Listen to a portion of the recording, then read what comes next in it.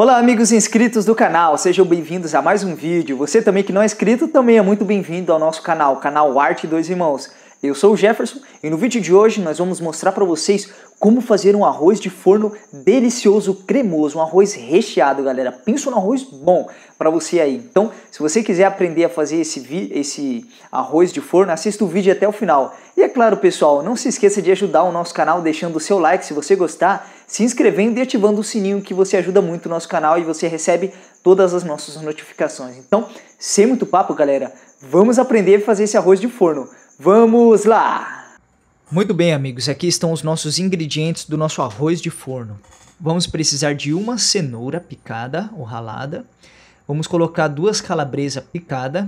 Aqui eu tenho 200 gramas de milho e 200 gramas de ervilha, tudo junto. Duas xícaras de arroz. Então esse arroz aqui ele já está pronto. já fiz o arroz, ele está na panela, tá? O arroz tem que estar tá pronto, tá bom? 200 gramas de bacon picado e 200 gramas de queijo mussarela, tá bom, pessoal? Cheiro verde, também a gosto. Coloquei uma cebola picada e também o nosso querido orégano, galera. Eu gosto de orégano pra caramba. Se você gosta de orégano também, deixa um like aí. Então vamos lá. Em uma panela nós vamos colocar o bacon para ele fritar legal. Então o bacon ele solta uma gordura. Eu costumo tirar ela, tá bom, pessoal? Tem gente que sabe que gordura animal não faz mal e tudo mais. Tem gente que deixa. Eu prefiro tirar porque não gosto de comida gordurosa. Adiciono também as duas calabresas picadas e vou mexendo. Então o segredo aqui é mexer legal e aí vai dar tudo certo no final. Coloquei também a nossa cebola picada e eu vou continuar mexendo para que a nossa cebola também fique um pouco dourada. Tá certo, pessoal? E aí ela ficando dourada, a gente consegue adicionar os nossos próximos ingredientes. Então mexa tudo aí bonitinho. E aí nós vamos poder colocar o nosso cheiro verde. Estou aqui com um pouco de cheiro verde, ou coentro, como alguns conhecem e aí só mexer novamente. da onde eu venho nós conhecemos como coentro. Então vamos lá, pessoal. O próximo ingrediente, no caso o milho e a ervilha. Eu coloquei uma lata de milho de 200 gramas e uma lata de ervilha de 200 gramas, tá bom? Eu misturei tudo aqui e agora é só misturar na nossa panela e não tem segredo. Então assim que você adicionar o milho com a ervilha, você dá uma mexida de leve e aí você pode adicionar o nosso próximo ingrediente, que é a nossa querida cenoura. Então, pessoal, esses ingredientes aqui, no caso do milho, da ervilha e até mesmo da cenoura, são a gosto, tá bom, pessoal? Se você não quiser colocar cenoura, você não precisa colocar. Eu coloquei aqui uma cenoura média, não era muito grande, era uma cenoura média. Então, agora nós já mexemos, vamos deixar mexer legal.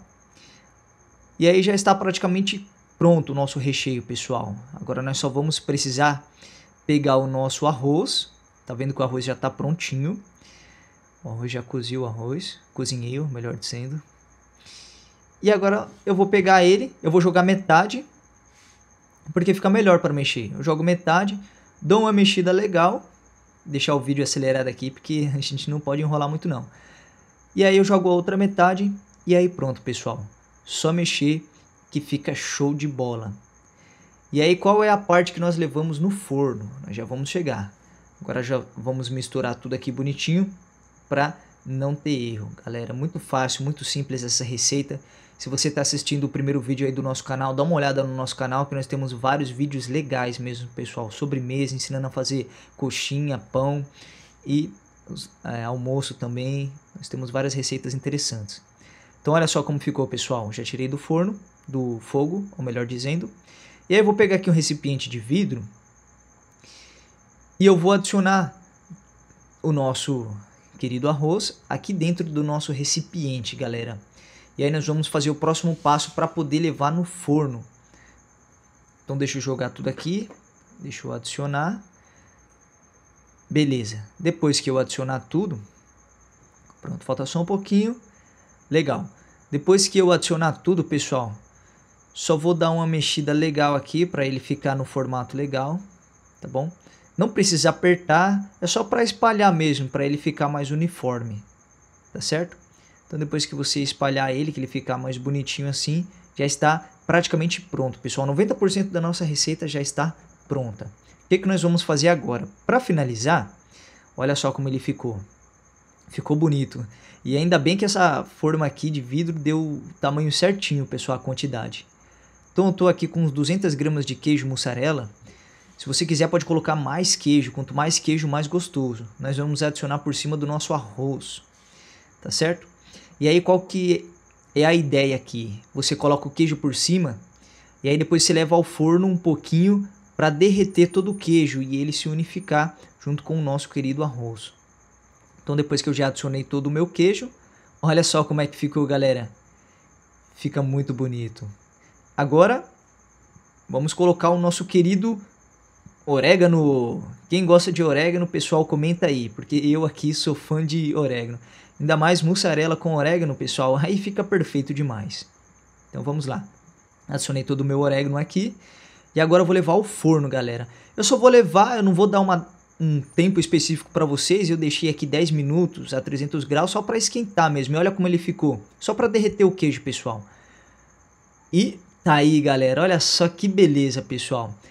Mas eu preciso cortar para vocês, eu tenho que mexer nele para vocês ver como que ficou mesmo, se ficou bonito, se ficou gostoso. Dá uma olhada, pessoal. Eu vou pegar um pedaço aqui para vocês verem. E dá uma olhada, presta atenção no queijo, pessoal, derretendo, olha. Hum, ficou bom mesmo, ficou muito boa. Então espero que vocês tenham gostado dessa receita. É muito simples, fácil. Então se você gostou, galera, comenta aí embaixo. Você pode pedir a sua receita. E é claro, se inscreva no nosso canal se você não for inscrito.